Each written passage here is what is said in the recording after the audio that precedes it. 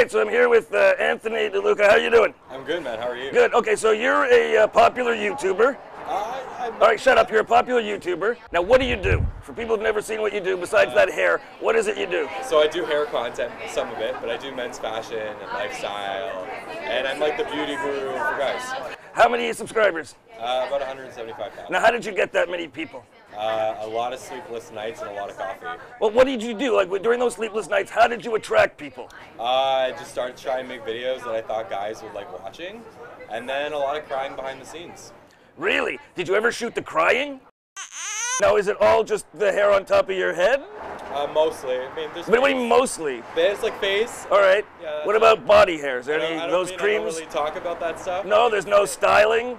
Not for not for body hair. I mean, if you want to, if you want to manscape, like go for it. It's not something I really talk about, but hey, Why don't you talk about it? It's all about hair and men.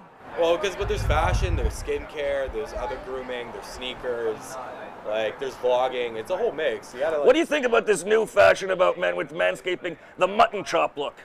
What's the what's the mutton chop look? You know what mutton chops are? No. Those big sideburns? Oh well, look, if we're gonna go back to like the 60s and 70s with that one, I'm gonna personally pass. Oh, I was talking actually, they do it around their genitals.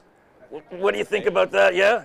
Well, this is the first time I'm hearing about it, so I don't know how. How are you supposed to be some fashion hair guy? You've never heard about the, the mutton chops and the genitals. Because I talk about things that are actually stylish, so I'm gonna. Oh, focus on that one. apparently, uh, you know, decorating your genitals isn't stylish enough I mean, for our to friend. Bedazzle your penis, by all means. But okay, bedazzling your penis is probably, you know how hot those glue guns are? I mean, look, you, you- do, do it at your own risk. Okay, I'm personally not going to do that. You're not gonna do that? No. I know you're gonna go home tonight and think about it now. But I'm gonna maybe search this up because I'm really curious as to what that is. Mutton chops, check it out. Yeah, guys manscaping with mutton That's, chops. the, that's the new trend. I, like, there's no hope. Now, what's what? What are the plans to expand the brand?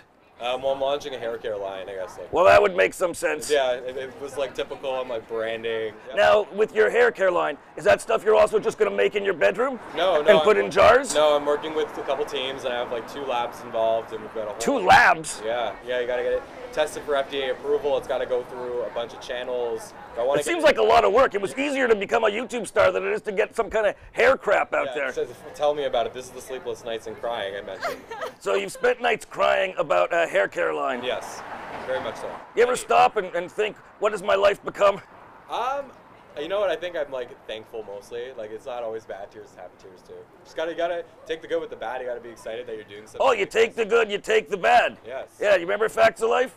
There you go. Yeah, you have no idea what I'm talking Not about. all. Not at all. All right. So, what would you, what advice would you give somebody who wants to be you? Not specifically you, because that hair really it's not something people can just replicate. But if people want to be a big YouTube star, what do you recommend? Uh, to not give a fuck. I think sometimes. To not give a fuck. Yeah. Step one: don't give a fuck. All right, uh, Anthony. Thank you very much. Thank you.